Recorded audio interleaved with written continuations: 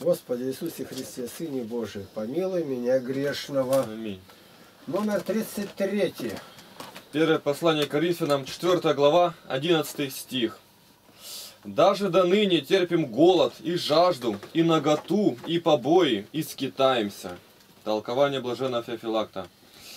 Что говорит по- припоминать прежнее? Посмотри на то, что теперь есть, на то, как вы утопаете в удовольствиях, а мы совсем напротив. То есть нас бьют. Это говорит против надменных. То есть нас гонят, мы бегаем. Это против богатых.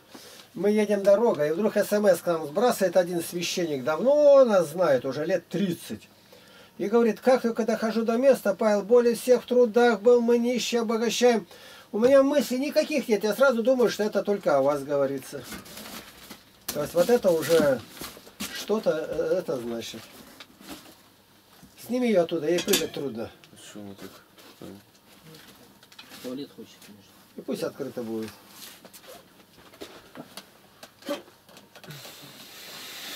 Ну давай.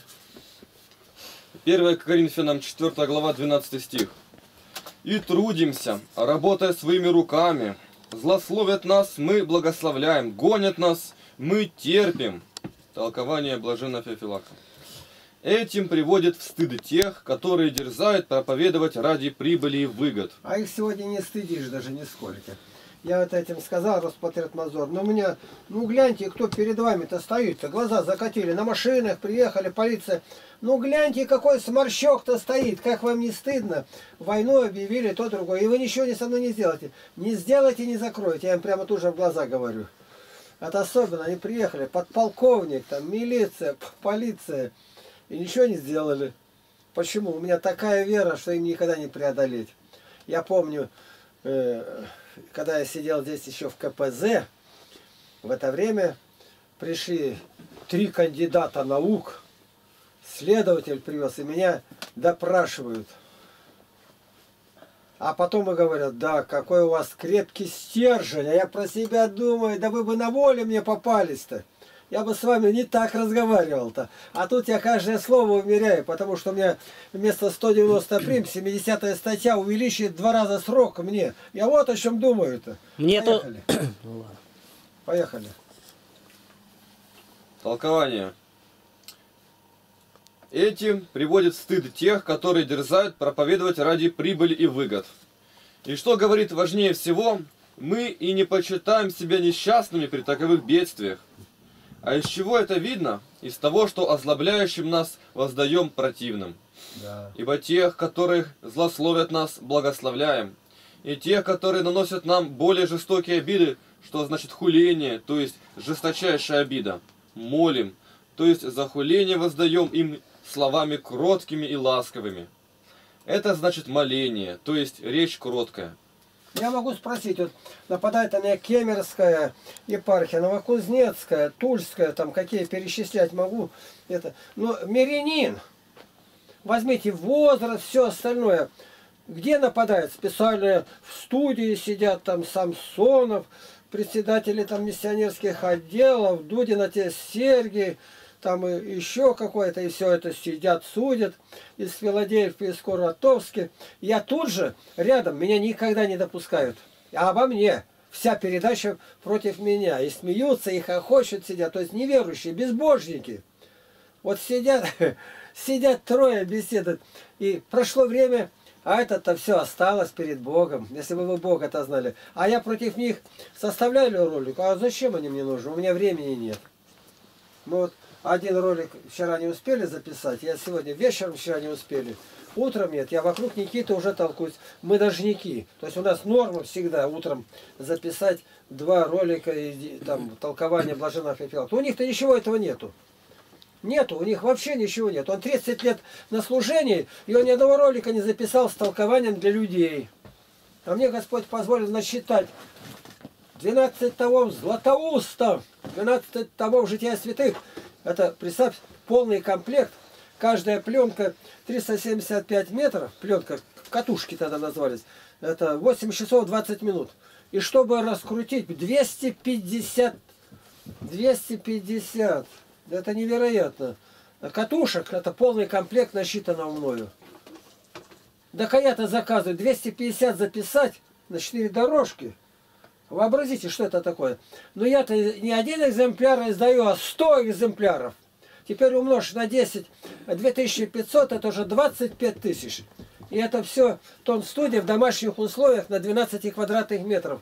Неужели вам не понятно? Я не считаю это ни подвиг, ничего. Но собирается здесь епископ, приезжает, архиерей, а опять же обо мне только рассуждают. А у всех на руках Златоуст, Жития Святых, Библия мной насчитана. Я для всех приготовил. Они купят все и слушают, но зависть съедает. Я только захожу, но вот вы знаете, что вас сейчас везде слушают. Ну да, а к вам гордость не подходит. Или гордыня и прелесть, это главное слава. Да мне к чему об этом думать, у меня зуб болит. Ну ладно, я в Киеве. В это время подскакивают ко мне японцы, меня потащили за руки и сфотографировались в Японии, а там перепечатала австралийская газета, допустим, мне сообщают, что от этого, когда у меня зуб болит-то? А гордыня? А как? У меня гордыня будет. Да мне некогда думать. Пошел вперед. Но до того смешно это в этой жизни. Нарошничное. За такое-то поведение почитают христиан безумными. 1 Коринфянам 4 глава 13 стих. Хулят нас, мы молим, мы как ссор для мира, как прах, всеми попираемый до ныне. Да. Толкование. Что такое ссор? Все, что выметается или стирается как негодное. Так, если кто скверное что-либо стирает губкой, называют ссором. Это же значит и прах, всеми попираемый. Ибо попирать тоже, что обратить губкой. Итак, апостол говорит, мы достойны того, чтобы нас отвергали и почитали за ссор не только вы, но весь мир и все люди, и не какое-то время, но даже и до ныне. Заметь, каковым должно быть христианину, заметь, что он обязан подвязаться до самого конца. Ну вот если их печатают в своих журналах, перед архиереем, ну вы к себе-то ничего не можете применить-то. Ну маленько хотя бы так вот гляньте. Ни одного слова вас не касается-то. То, что толкует блаженный Феофилакт. Как, как они еще мертвые совсем, или не считают, или не понимают. Воображения-то никакого нет. Ну войди в это, я хочу, чтобы это было обо мне. И ты не получишь этого. Не получишь. Вас посчитает, батюшка, отец, благослови, благослови. А меня гонят. Мне это положено. Это великая награда когда сейчас все храмы будут разрушены, примерно сказать, с чем вы представите? У вас ничего нет. Ничего. Совершенно. И вот мои труды, книги затребовали где? Одесский монастырь. Дальше сообщают мне, Почаева начали исследовать ваши книги, профессора. Теперь там в Москве, Сергей Радонежский там это где-то. Ну я представляю, проходит год, два, три, 14 лет, и нигде ничего нету. То есть для чего? Чтобы загнать меня экстремистски или еретически. Но нету ни одного, хотя бы одно слово, одно слово какое-то где-то. Никак. Но книги, чтобы нигде никто не читал. Почему? А он о нас положительно не отзывается. Да пророку Михею говорили так. Ахав не любил его. А я и не думаю, что это плохо или хорошо. Так Бог сказал, я и говорю. У меня вообще нету, чтобы смотреть, а как они там реагировать будут, а как меня гнать за эти слова будут. Андрей Кураев правильно говорит, если Игнатий бы не обличал священца, к нему отношение было бы совершенно другое. Они не знают этого. Но я представляю, как они сидят, тут просчитали. Ну и как ты думаешь, еретик? Да нет, тут и служба идет по-нашему, все одинаковое. И, и смотри, как он жития святых любит. И это. Ну как же вот такое, говорят, Дворкину отдали на исследование моей книги. Дворкину. Главный сектовед, то есть главное трепло. И он тоже ни одного слова сказать не может. Понятно? Ничего не может, только одно натравить Роспотребнадзор. И слышали, как они заколготели. Роспотребнадзор на лагерь натравить. Это в прошлом году, ну вот в этом прошедшем году, на рождественских чтениях в Москве, мне оттуда аудиозапись поступила с их этого ну как сказать, шабаша, на котором они собираются. Рождественское всемирное чтение. Один ролик там, а, да, да, тема выступает против Масленникова, э, Сергея Михайловича, кажется. И, а другой против меня. Давай. Упадешь, дернулся. Вы, вы тоже давайте Давай. мне простору немножко. Еще не помогает молитва. 4.14. Ты же чуть не упал со стула, то не дай бог. Так вы как разойдетесь на Я забыл, где я что нахожусь уже. Ну да ладно, ладно, давай, давай. 1 Коринфянам 4.14. Не к постыжению вашему пишу сие, но разумляю вас, как возлюбленных детей моих. Толкование. Не к постыжению вашему говорит, и не злым, и ненавистным намерением говорю. Это, ну как возлюбленных детей вразумляю, и не просто детей, но возлюбленных. Простите же мне, если я сказал, что и оскорбительно, ибо это от любви. И не сказал поношу, но вразумляю. Кто же не перенес вразумление отеческого? 1 Коринфянам 4 глава 15 стих. Ибо хотя у вас тысячи наставников во Христе, но немного отцов. Я родил вас во Христе Иисусе благовествованием. Вот отсюда даже вот это вот прочитайте. Отец такой-то и подписывается. Отец Виталий, там отец и, э, здесь. Хотя бы, ну, сказал там Виталий или как-то. А то отец Виталий. И как? Святейший патриарх. Я считаю Парафломея, и у него присказка везде пишет «все святейший». То есть святейший это мало, а все святейшие, но вообрази. Это не прелесть, не гордыня, ничего. А почему? Это натуральное. Натуральное, как у сатаны.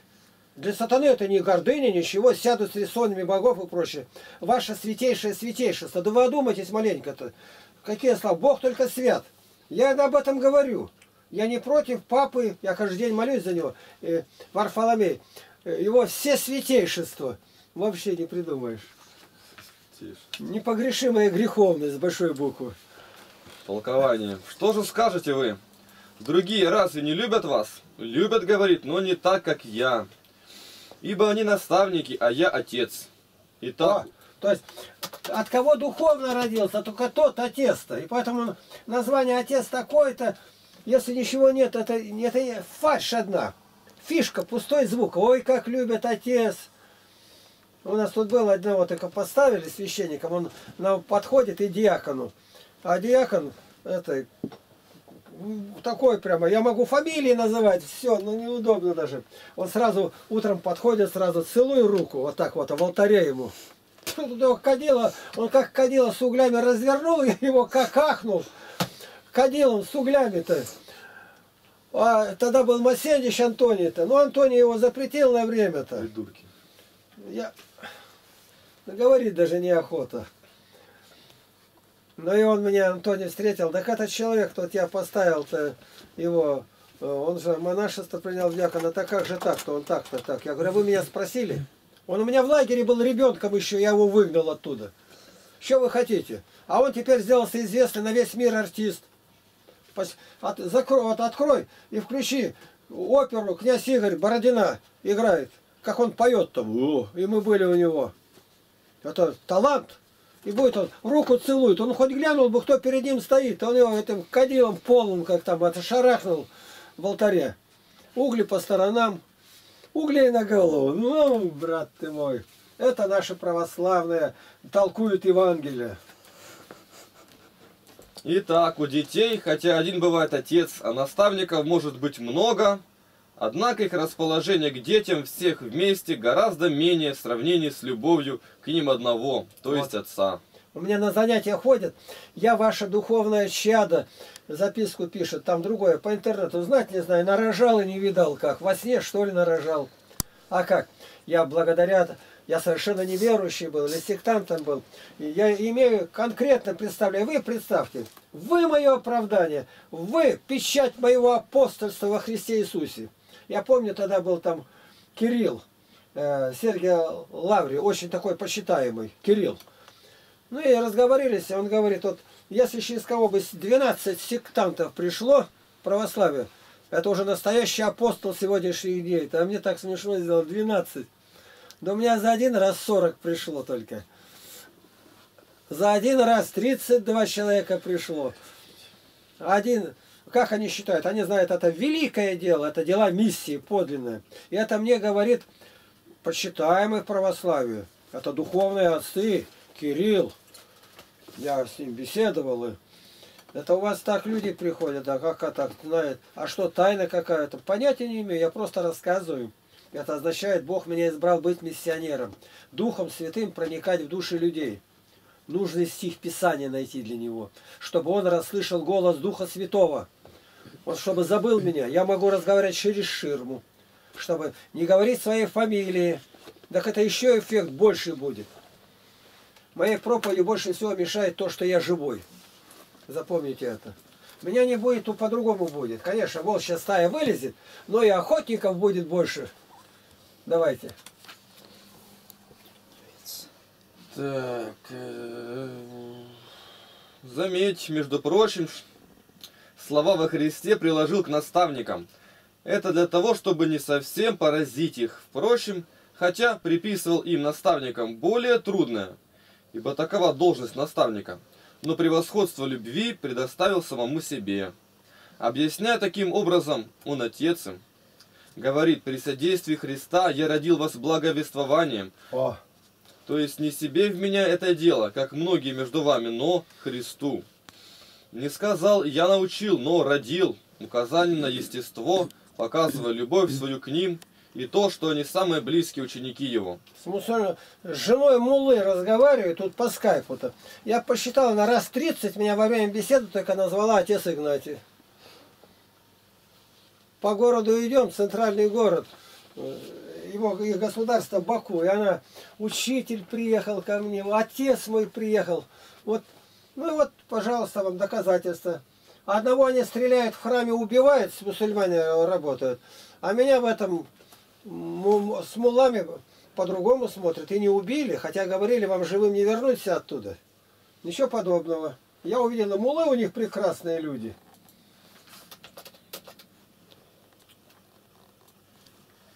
Так. 1 Коринфянам 4 глава 16 стих. «Посему умоляю вас, подражайте мне, как я Христу». Толкование. «Подражайте, говорит, во всем мне, не мудростью, ни богатством, не превозноситесь и не враждуйте против братьев, но полагайте и мудрость, и богатство в любви ко Христу и к братьям. Заметь доброту сердца, он умоляет, а не повелевает. А предлагать самого себя в образец для подражания – это знак великого дерзновения. 1 Коринфянам 4 Понятно? Предлагать себя. Я э, находимся в епархии. Ты держи то место, где есть. Сразу складывает их. Пошел спать. До две минуты уже отрывается. Не закрывай, держи прямо глазами на этом. Так да я не могу делается. так долго. В епархии сидим. Благочинные собрались. Секретарь епархии. Я к ним обращаюсь. Скажите, вы хотели бы подражать мне? Быть похожими на меня? Я их знаю, что они всегда завидуют. А если вы меня спросите, мы, мы как чумы болотные вас страшимся и боимся. Вам нужны только деньги. Больше ничего не надо. Ни талант человека, ни душа, ни его успех, ни то, как Бог благословляет. Ничего этого вы не знаете, и вам это не надо. А сколько получаете? Пошел вперед. 1 Коринфянам 4 глава 17 стих. «Для сего я и послал к вам Тимофея, моего возлюбленного и верного в Господе Сына, который напомнит вам о путях моих во Христе, как я учу везде, во всякой церкви». Толкование блаженного Феофилакта. «Потому, говорит, что я пекусь о вас, как о детях, послал к вам Тимофея. Я сам хотел прийти и восстановить мир между вами, но поскольку не могу исполнить этого, то послал его, моего возлюбленного сына. Сказал это для того, чтобы показать, как любит их, когда решился для них разлучиться с Тимофеем. А вместе для того, чтобы внушить им уважение к Тимофею. Верного в Господе, то есть не в житейских делах, но в делах веры Христовой. Посему и в том, что касается вас, оно будет служить верно.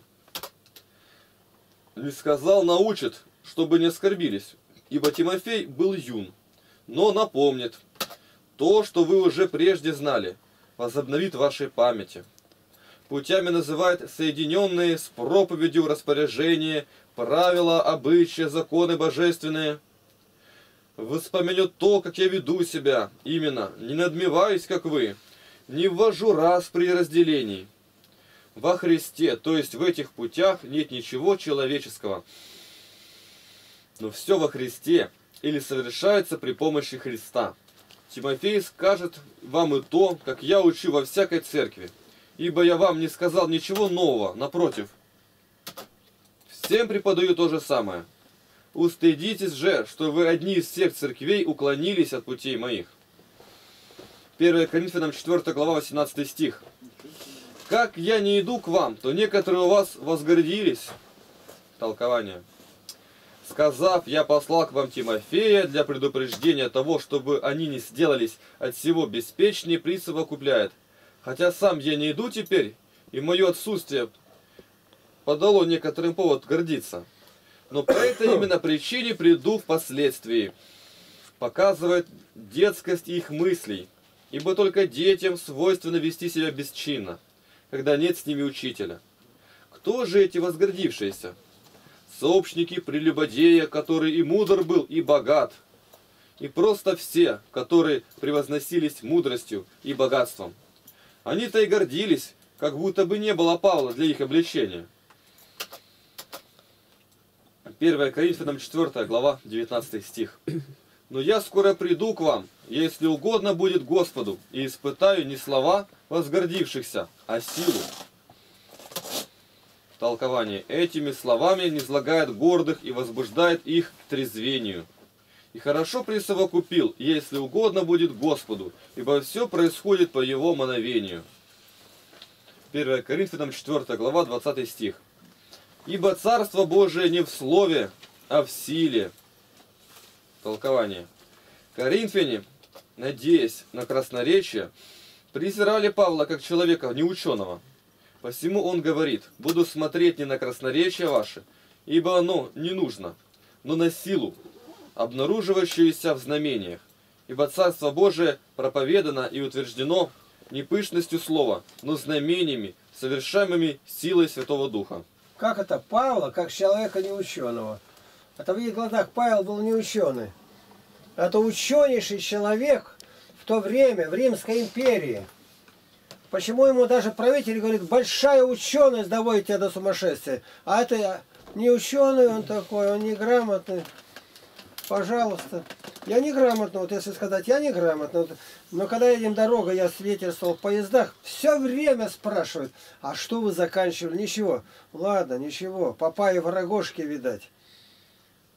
То есть, как ты не оденься, тебя будет видно. Я действительно ничего не заканчивал. Но учился всю жизнь непрерывно учился. Итак, 1 Коринфянам 4 глава 21 стих. Чего вы хотите? С жезлом прийти к вам? Или с любовью и духом кротости? Толкование. Жезлом называет наказание. И так говорит, от вас зависит, с тем или другим прийти мне к вам. Если останетесь беспечными, то я приду и накажу вас, как Илиму. Деяние 13 глава, с 8 по 11 стихи. «Если же отрезвитесь, то поступлю с вами по духу кротости. Есть в нем и дух строгости наказания, но он именует его с лучшей стороны, подобно тому, как и Бога называет щедрым и милостивым, а не карающим, хотя он на самом деле и таков». 1 Коринфянам 5 глава, 1 стих. «Есть верный слух, что у вас появилось блудодеяние, и при том такое блудодеяние, какого не слышно даже у язычников, что некто вместо жены имеет жену отца своего. Толкование. Обвиняет всех вообще, чтобы не предались беспечности. Считает себя с чуждыми всего греха, но напротив, старались исправить его, как бесчестие общее. И не сказал, бесстыдно совершается, но есть верный слух – если же запрещено даже допускать до слуха такое преступление, не гораздо ли более бесстыдно совершать оное? Тем более у вас, которые удостоены духовных тайн. И далее, усиливая обвинение, говорит, какого не слышно даже у язычников. Не сказал, бывает, но не слышно, что некто вместо жены имеет жену отца своего не сказал мачеху, но жену отца своего, чтобы напоминанием об отце сделать удар сильнейшим.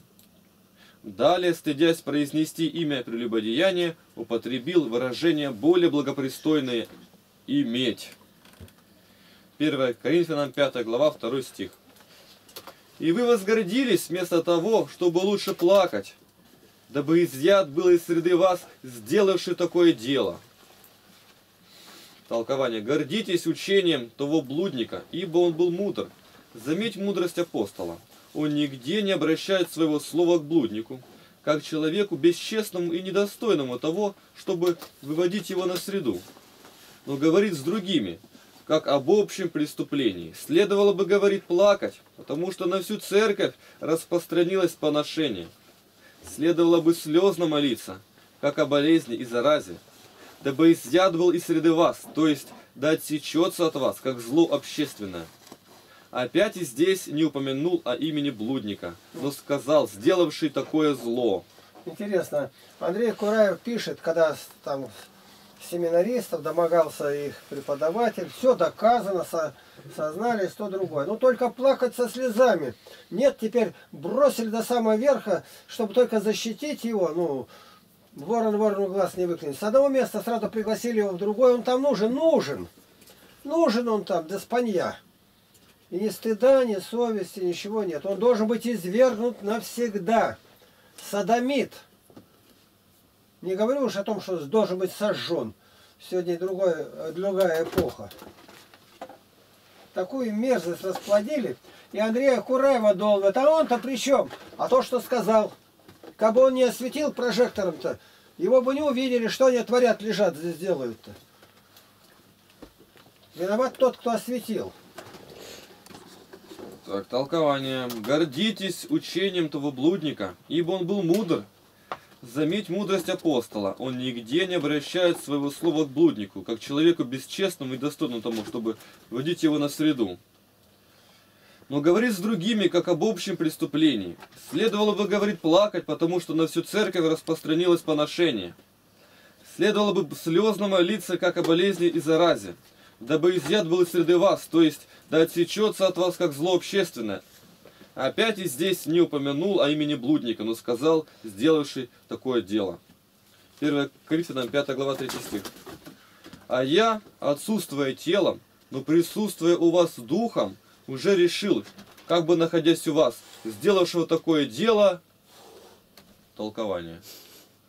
Заметь негодование, не позволяет дожидаться своего прибытия, и потом уже связать блудника, но спешит остановить зло, заразу, прежде нежели оно распространится на все тело церкви. Присутствуя у вас духом, сказал для того, чтобы понудить их к произнесению приговора и вместе устрашить тем, что он знает, как они будут судить там, и что дух, то и есть дар прозрения, откроет ему все, что они не сделают словами уже решил, как бы находясь у вас, не позволяет им предпринимать что-либо другое. Ибо я, говорит, произнес приговор, и иначе быть не должно. 1 Коринфянам 5 глава, 4 стих. Собрание вашим во имя Господа нашего Иисуса Христа, обще с моим духом, силою Господа нашего Иисуса Христа. Толкование. Чтобы не показаться гордым и их принимает в сообщники, ибо говорит, в собрании вашем во имя Господа нашего Иисуса Христа. То есть так, чтобы собрание было составлено не по обычаю человеческому, но по Богу.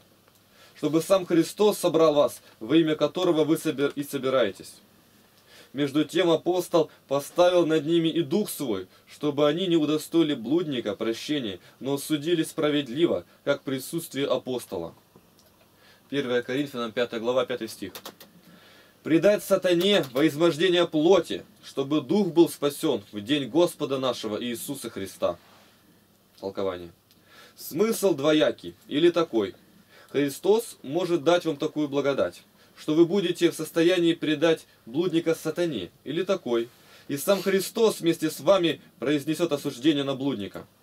И не сказал, отдал, но предать, прикровенно отверзая для него двери покаяния. И здесь опять не упомянул имени, то есть предать для того, чтобы сатана изнурил его болезнью. Ибо поскольку похоть рождается от пресыщения тела, то апостол хочет наказать это тело, чтобы дух, то есть душа была спасена. Не так, впрочем, это должно понимать, будто бы спасалась только одна душа. Но должно признавать, что при спасении души спасется и тело. Ну где третье счастье? Ни разу нигде не встречается. Душа и тело. Нет, дух, душа и тело не, ну дух так что, отдельно субстанция какая-то? Нет, я говорю, это настроение, в котором находится человек. что прославление Бога было. Ничего не понимает и спорит. Весьма кстати напомнил о дне суда, чтобы коринфяне, убоявшись, предложили врачевание. А блудник с таким же расположением принял он Полагает предел действиям дьявола, подобно тому, как было с Иовом. То есть, позволяет ему касаться только тела, а не души. 1 Коринфянам 5 глава 6 стих. Нечем вам хвалиться. Разве не знаете, что малая закваска квасит все тесто? Толкование. Намекая, что они сами не допускали блудника до раскаяния, ибо похвалялись им, а он был из числа их мудрецов. И о вас говорит, а не о нем только забочусь я. Ибо зло, если оставить оное без внимания, может заразить и остальные члены церкви. Закваска сама в себе, малая заквашивает все тесто и предлагает оное в саму себя. Так и грех всего человека увлечет за собой многих других. Все. Слава Божию.